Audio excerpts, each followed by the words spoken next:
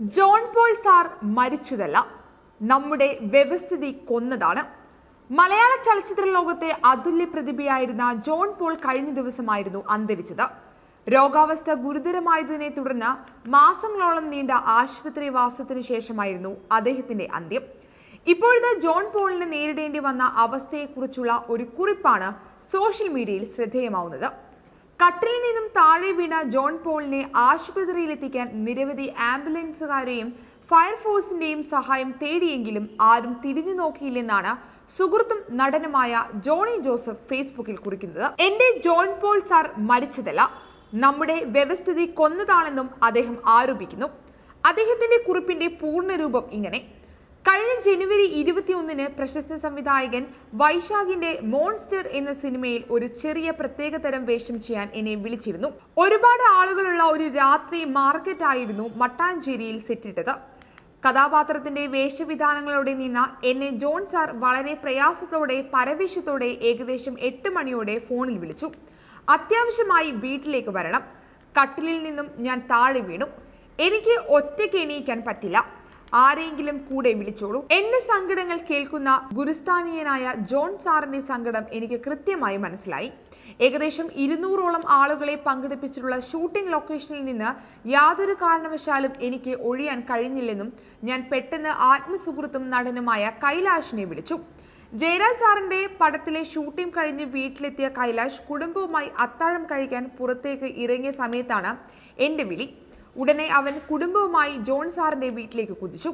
ഞാൻ ഫോണിൽ ജോൺ സാറിനോട് സംസാരിച്ച് സമാധാനിപ്പിച്ചു കൊണ്ടിരുന്നു വെറും ഇരുപത് മിനിറ്റ് കൊണ്ട് അവർ സാറിന്റെ വീട്ടിലെത്തിയപ്പോൾ കട്ടിലിൽ നിന്നും വീണ് തണുത്ത നിലത്ത് കിടക്കുന്ന സാറിനെ ഉയർത്താനുള്ള വഴികൾ നോക്കി. പക്ഷേ ദേഹഭാരമുള്ള സാറിനെ ഉയർത്താൻ അവർക്ക് സാധിച്ചില്ല. ഉടനെ അവർ ഒട്ടനവധി ആംബുലൻസുകാരെയും വിളിച്ചു. പക്ഷേ അവർ ഇങ്ങനെയുള്ള ജോലികൾ ചെയ്യില്ലത്രേ. ആശുപത്രിയിൽ കൊണ്ടുപോകാൻ മാത്രമേ അവർ വരികയുള്ളൂ എന്നാണ് മറുപടി.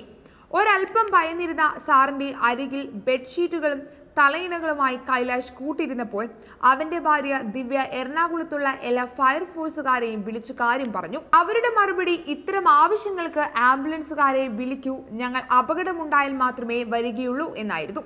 പോലീസ് കൺട്രോൾ റൂമിൽ ബന്ധപ്പെട്ടപ്പോൾ പാലാരിവട്ടം പോലീസ് സ്റ്റേഷനിലെ രണ്ട് ഓഫീസർമാർ വീട്ടിലെത്തി.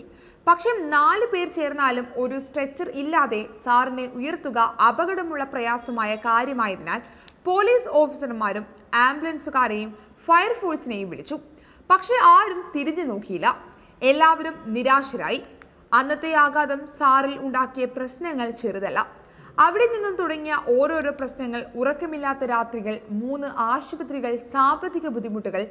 ആദരണീയനായ സാനുമാഷിന്റെ സ്വന്തം കൈപ്പിടിയിലെ എഴുത്തുമായി ഞാനും കൈലാഷും തിരുവനന്തപുരത്ത് മുഖ്യമന്ത്രിയുടെ ഓഫീസിലെത്തി അത്യാവശ്യ സഹായങ്ങൾ ലഭിച്ചെങ്കിലും എല്ലാം വിഫലം.